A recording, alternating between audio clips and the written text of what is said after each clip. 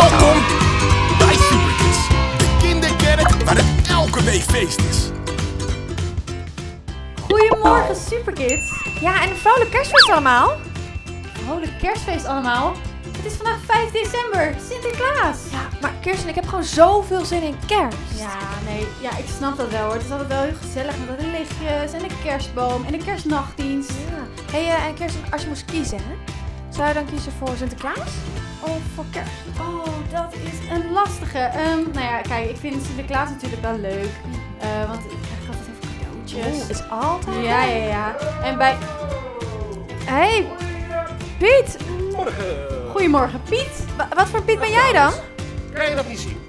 Productie Piet. Dat is Oh ja, dat Ah. verklaart dan een beetje de... Ja. Ja. Ja, en eh, Vinden we ervan? Cadeautjes, 5 december, hartstikke leuk. altijd goed, altijd goed. klein, ergens in het midden. Welke zou je mogen kiezen? Als je zou mogen kiezen, welke zou je willen? Ja, deze. Ja, ik, eh, welke is de ene grootste? En dan lijkt het wel een beetje op Ja, ik denk hè? die. Wie pakt de grootste, wie pakt de zwaarste? Maar wanneer ben je nou tevreden? Gaat het allemaal om hebben, hebben, hebben? Ik heb een hele mooie challenge en daar gaan we het over hebben.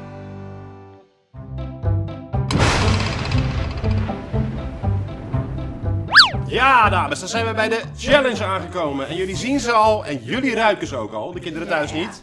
Wat zit erin? Wat zit erin? Pepernoten, niet te missen. Twee enorme zakken vol met pepernoten. Het heeft alles te maken met de challenge van vandaag. Wie gaat hem voorlezen? Ja, ja kom Aan maar. jou de eer, ja. Oké, zijn jullie er klaar voor? Ik Het wel. is tijd voor de challenge. De challenge is graaien, graaien, graaien. Je gaat zo op zoek in de zakken naar zoveel mogelijk geld. En je hoort het goed. Je gaat op zoek naar geld in de zakken vol met pepernoten. Maar waar kies jij voor? Kies je voor het bedrag wat jij hebt gevonden? En stop je? Of ga je op zoek naar meer? Maar dan kan je, je alles wat je hebt gevonden verliezen, want je mag maar één muntje overhouden. Wat kies jij? Je hebt 2,5 minuut. Oké, Oh. wanneer Ik zijn we Ik vind het wel tevreden? een leuke challenge weer op zoek naar geld. Ja, dat wel. Ja. Goed. Dat zeker. Dames, een goed idee. de tijd start in 3, 2, 1, let's go! Wat dat beginnen. Oh, oh, oh, ik heb mijn eerste al gevonden. Tevoorschijn. 1 euro. Nu is de euro. vraag, denk ik dat... Ligt het boven Ik doe hem weg. Zal ik hem aan jou geven? Dan, want anders dan eh, is, blijf je natuurlijk, hè? Ja, Ik heb ook een euro. ja, hartstikke goed. Die is, eh prima. Ik met jou. 1 euro. Ja, maar ik geloof toch dat ik meer kan krijgen. Ik denk dat ik ook wel Piet wil zijn. En je alleen maar chocola. Ja. mok. Ik weet niet mij is Oeh. geen 10 euro. Oeh, die is interessant. Ga je hem houden? Ja, Ja. Ah, we zijn pas net begonnen, hè, jongens. Ik durf het aan. Ik ga verder zoeken. Ik ga verder zoeken. En de tijd moet natuurlijk ook stoppen. Oh! Oh. Ja. 20 euro. 1 Ja, euro? Nee, dat is leem. Dat wordt best wel belangrijk. Dat moet je helemaal niet houden. Oh, ik twijfel. Weet Oké. je Weet je wat ik heb? Die strooit ook natuurlijk. Ja. Oh, jij hebt 100 100 euro. Dan, je stop ik hoor. Ja, Ik, ja, ik denk niet dat ik meer kan krijgen dan 100. Tevreden met 100. Ja, ik ben tevreden. Heel Ik krijg wel tevreden. armspieren hiervan hoor. Zo, jongen. Ja, nou, Maar ik ga even proeven. Hoe lang hebben we nog?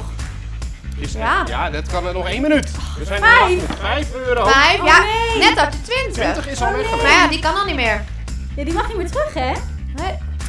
10. Die is- 10 euro oh, ook niet. Ach, Dan jongens, moet die een 100 helpen. er maar in zitten. Had je niet die 10 kunnen houden? dat is beter dan Dat is 5. Leuk, leuk om te zeggen nu. Heb ik echt Ja. wat aan. Nou, Ja, dat is waar. Ik heb 100. we hebben nog een halve minuut. Yes. Schiet op. Zometeen hoor. eindig je met één pepernoot. 1 euro, 2 Oh, euro. eh, ja, zie je, die 10 was toch meer. Een euro. Ik vind het niet leuk. Dit is een verkeerde, verkeerde support dit. Oh, Oh, sorry. briefje. Je kan het, Kirsten. briefje. Je kan het. Go, go. Ja, dat zijn- oh! Ik heb ook 100. 100 euro. Yay. Maar is dat ook jouw laatste keuze? Nou, ik weet het niet. Durf je heb nog aan? Misschien Nee, zit er wel ik 200 en dan ben je nee, van mij. Nee, nee, ik stop. Ja? Ja, ik Ja. ook. Ik durf het ook niet aan. Oké, We hebben allebei 100. 100 euro. Dat is het einde. En dan was de tijd. Precies op tijd. Gekozen dames. Gelukkig maar. Ja, hartstikke goed. Mijn handen er helemaal Nou. in. Ja, ja. Leuk. Mag ik hem houden? Die 100 euro mag je opgeven? Oeh, dat gaan we zeker Neem ik de rest alweer mee. Ja. Jij de rest Ah, alweer. oh. Hé, hey, maar dan is het best wel een goed idee als wij die 100 gaan opeten. En dan eh, gaan we ondertussen even naar een video kijken. Laten we dat doen. Heb je wel eens gehad dat jouw moeder of tante vertelde dat ze zwanger was? Dat vertelde de verloskundige haar. Bij Maria uit de Bijbel ging het heel anders. God stuurde zijn engel Gabriel naar Nazareth. Dat is een stad in Galilea waar Maria woonde. Hij moest bij Maria zijn, die verloofd was met Jozef, een afstammeling van koning David. Als je verloofd bent, dan kies je voor elkaar. Dan wil je met elkaar trouwen en wil je voor altijd bij elkaar blijven.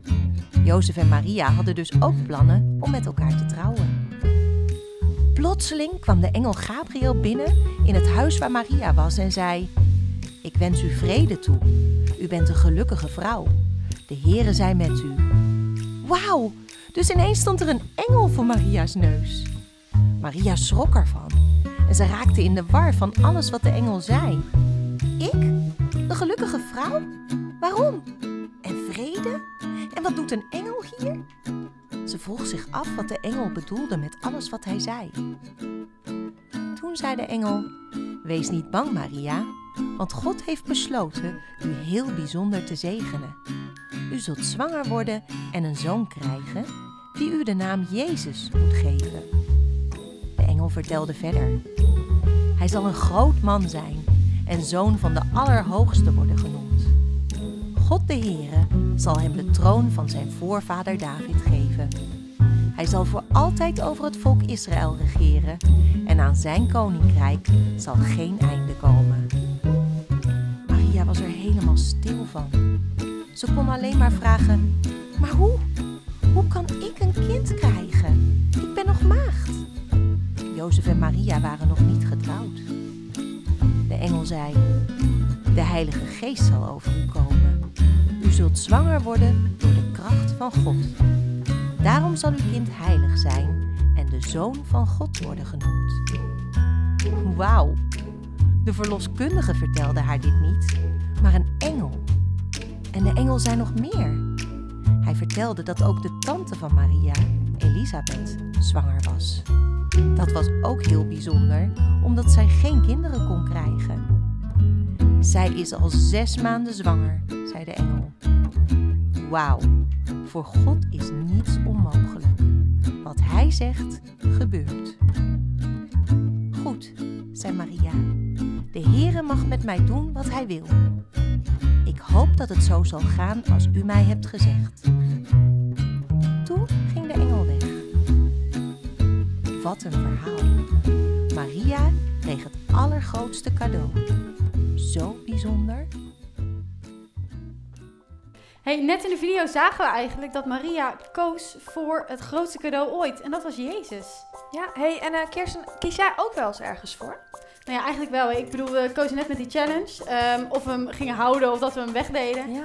Maar ook eh, gewoon als ik 's ochtends wakker word, eh, welke schoenen ik aan ga doen bijvoorbeeld. Of wat ik als ontbijt ga nemen. Wat ik, welke tas ik mee naar school neem. Eigenlijk maak je de hele dag door eigenlijk alleen maar keuzes. Hè? Hey, en Kirsten, heb jij ook wel eens voor Jezus gekozen? Ja, ja, ik heb ook dus voor Jezus gekozen. Ehm, maar hoe doe je dat eigenlijk? Het is eigenlijk heel erg simpel. Weet je, Jezus, als je voor Jezus wil kiezen, hoef je alleen maar hem te laten weten dat je zijn vriend wil zijn. Het is eigenlijk zo'n mooi cadeau, het allergrootste cadeau die er is. Oh, dat is eigenlijk best wel makkelijk inderdaad. En, maar hij is dus het allergrootste cadeau. Dus groter dan, ehm, echt leuker, mooier dan een nieuwe Barbiepop of een nieuwe film of een eh, nieuwe spel op de Playstation. Zeker weten. Ja, Ja. Ja en hoe, hoe kies je daar dan voor? Nou ja, dus het is heel simpel door gewoon te zeggen. Jezus, ik wil jouw vriend zijn. Wil je mij Oh. ook zijn? Dat is best wel cool. Eigenlijk heel makkelijk, Ja, hè? ja, Zullen we daarvoor bidden, Kirsten? dat is een goed idee. Lieve vader, dank u wel dat u een eh, goede God bent. En Jezus, dank u wel dat we uw vriend mogen zijn. En dat het zo makkelijk is om vrienden met u te zijn. En eh, ik bid, vader, voor de kinderen dat, we, dat er keuzes gemaakt worden om uw vriend te mogen zijn. En eh, ik bid dat we nog een fijne Sinterklaas hebben. Dat we nog een leuke tijd hebben bij Superkids. Amen. Amen. Nou, dat was mooi, hè? Ja. Klaas, Hey, Piet. voordat we gaan afsluiten. Hey, Piet. We moeten nog even een keuze maken wat we met die pepernoten gingen we doen van de challenge. Ja. Ja. Dus ik dacht hoe leuk zou het zijn als jullie als jullie toch allebei even nog gesport hebben. Dus even een wedstrijdje doen. Wie kan het beste op zijn hoofd stapelen?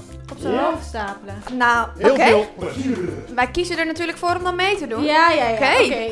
Nou, ik eet ondertussen even mijn 100 euro op. Ja, ik leg die even opzij. hoor. altijd goede keuzes natuurlijk. Focus eventjes houden. Even kijken, pepernoten op je hoofd. Ja. Nou, hoe moeilijk kan het zijn? Oké, ik heb een handje. We beginnen natuurlijk met één. Ja. Oh, ik mag eigenlijk niet met mijn mond vol praten, hè? Oh, Geen goede keuze. Dan gaat hij eraf. Wacht. Oh, Ik heb er al twee. Ja, ik ben nog met één bezig. Ik vind het... eh Ik heb het... wel Oh! vallen, hè? Oké. Ik hey. vind een hele uitdaging. Ik, uh... Mara, waar zijn jullie nog wel uren mee bezig? Nou, ik Zullen denk... we maar eh, afscheid nemen van de kinderen? Dan gaan wij hier nog even mee verder. Ik dat ik er nu mee ga stoppen, want dit eh, wordt niks voor mij. Ehm, ik ga hier niet mee stoppen. Nee, jij gaat nog even door. Nou, ik zou zeggen tot volgende week. Doei!